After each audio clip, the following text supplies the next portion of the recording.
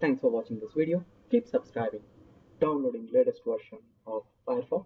In Google you can type download Mozilla and under this page you can click on this Firefox free download and let for few seconds to get it downloaded. And this pop-up you can see. You can run or save this file. I'm directly running it.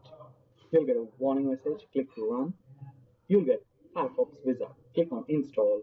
It will take downloading and installing so you need to wait for a while. Now downloaded installation process started. Now you can see it got completely installed and the wizard disappeared. Click on start Firefox. It will ask to import bookmarks, history and passwords. You can simply say don't import and click next.